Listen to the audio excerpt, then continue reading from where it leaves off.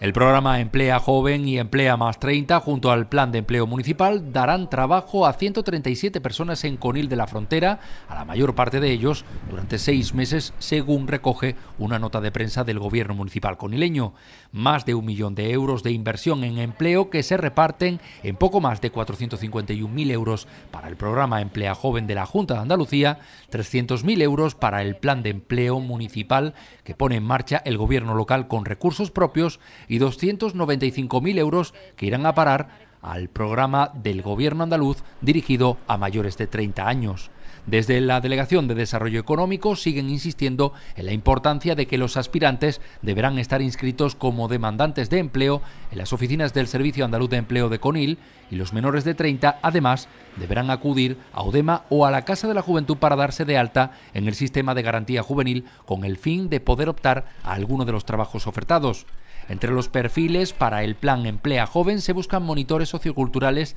técnicos, maestros o empleados administrativos, mientras que para mayores de 30 los perfiles buscados van desde informáticos hasta jardineros o albañiles. El gobierno local ofrece más información sobre las ofertas de empleo en su página web conildelafrontera.es.